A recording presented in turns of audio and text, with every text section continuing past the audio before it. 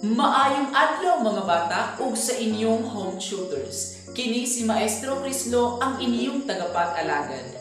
Alang karong bahina, atong pagahisgutan ang pagpadayag sa positibo nga pagbati sa husto nga pamaagi. Ang matag usa ka nato bata o may edad na makasinati gayud og mga nagkalain-lain nga mga pagbati depende sa sitwasyon. Mahimo kini nga positibo o negatibo. Pero kung ugaling ang imong mga pagbati sama sa lipay, naguol, nasuko, nahadlok, o nakuyawan, kinahanglan nga imo kining mapakita o mapadayag sa husto nga pamaagi. Gikinahanglan ang husto nga pagpadayag sa mga pagbati aron dili kita makapasakit og tawo ug aron daghan nga mga tawo ang mahimo natong higala ug malinawon ug malipayon usab ang ato nga relasyon sa usag-usa. Karon atong ilhon ang mga nagkalain-lain nga pagbati. Nalipay, naguol, nasuko, nahadlok, ug nakalitan. Kato sila ang mga nagkalain-lain nga pagbati. O karon nga inyo nang nailhan ang mga nagkalain-lain nga pagbati, aduna ako'y mga buluhaton nga giandam para kaninyo. Unang buluhaton, tanawa ang hulagway ug ilha ang mga pagbati nga gipakita. Number one, unsa nga pagbati ang anaa sa maong hulagway. Hatagan ko ikaw og lima ka segundos para sa pagtubag.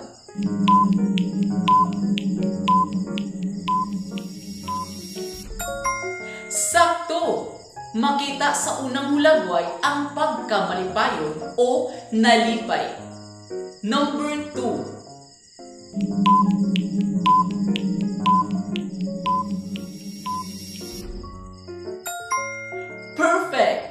Makita nato sa ikaduhang hulagway ang pagkamagulanon o nagguol.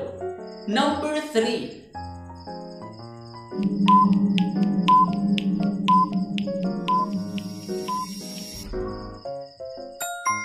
Excellent!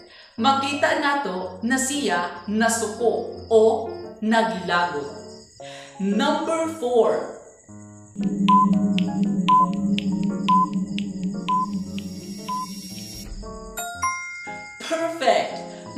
Makita nato sa iyang dagway nga siya nahadlok. Ikaduhang buluhaton.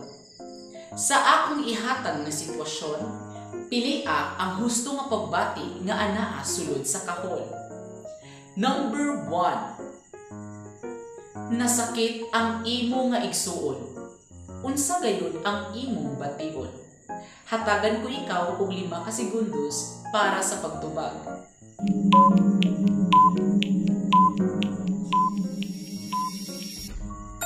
Sakto! Kung usa sa imong igsuon o sulod sa imong pamilya ang masakit, maguol gayud kita o naguol. Number 2. Nakakita ka og bitin sa dalan. Unsa ang imong bation?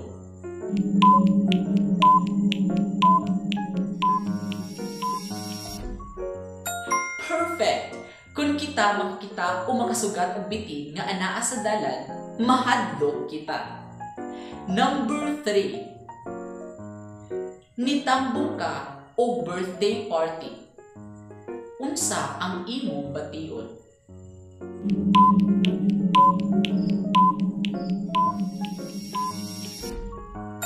Perfect! Kung kita mutambong og birthday party, malipay gayon kita. Eh, na may pakal. Number 4. Gikatawaan ka kay sayo ang imong tubag. Unsa gayud ang imong bation?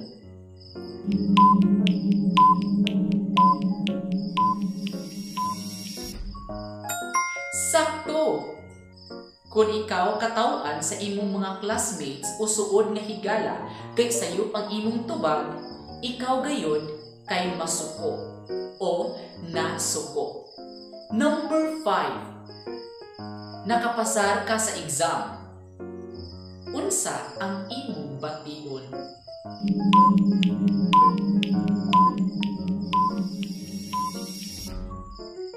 Perfect!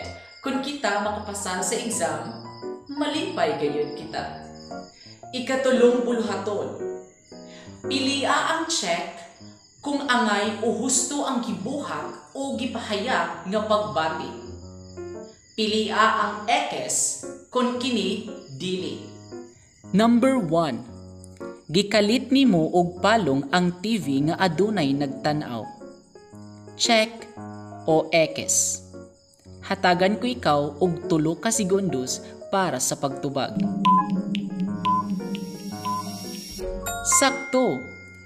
Ekes. Dili angay palungon ang TV kun kini aduna pay nagtan-aw. Number 2. Naghinay ka og lakaw kay adunay natulog. Check o ekes. Sakto. Check. Angay gayud nga maghinay ka og lakaw kung adunay natulog para kini dili matugaw. Number 3 nagpasalamat ka sa regalo nga imo nga nadawat. Check o ekes. Sakto, angay gayod nga mapasalamaton ta sa mga butang nga ato nga dadawat. Number 4. Nalipay ka kay nidaog sa lumba sa dagan ang imo nga silingan. Check, ekes. Sakto, Check. Angay gayud nga malipay ta kung unsay nakabuot sa ubang tawo. Number 5. Nasuko ka kay napildi ka sa dula. Check. Ekes.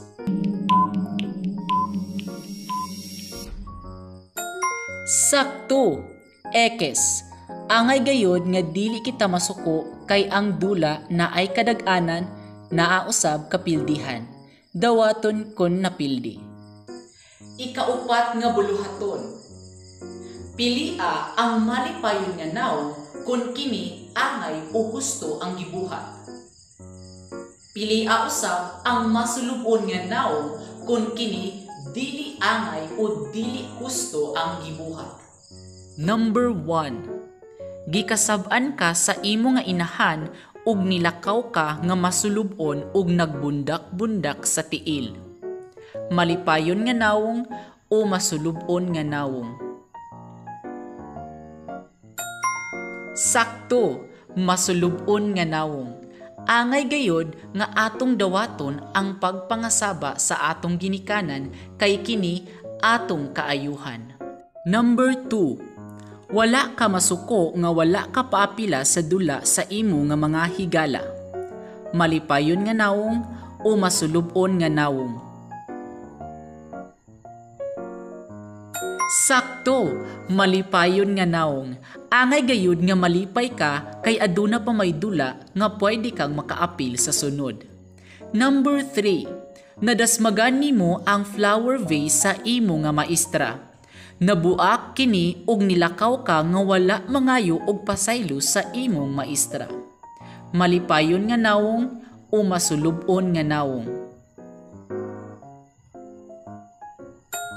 Sakto, masulubon nga nawong, dili angay nga mulakaw ka nga wala ka mangayo og pasaylo. Imuhang sayop, imuhang dawaton, mangayo ka og pasaylo. Number 4. Gisugo ka pagpalit og asin, apan wala ka nituman og nasuko ka pa. Malipayon nga nawong o masulubon nga nawong.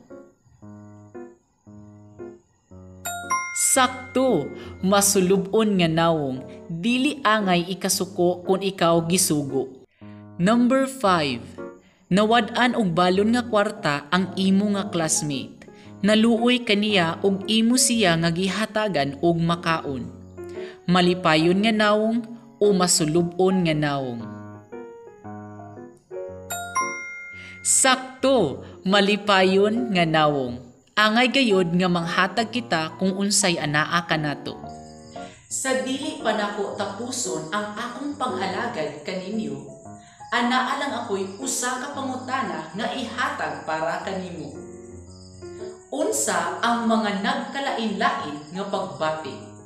Hatagan ko ikaw og lima ka segundos para sa pagtubag.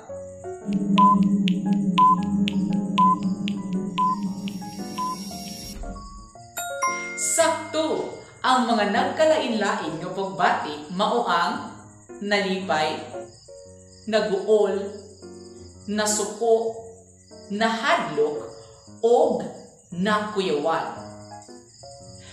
Og karon, i-comment sa ubos ang imong mga kasinatian nga diin nalipay ka, naguol ka, nahadlo ka, nasuko ka, ug uban pa ang mga pagbati.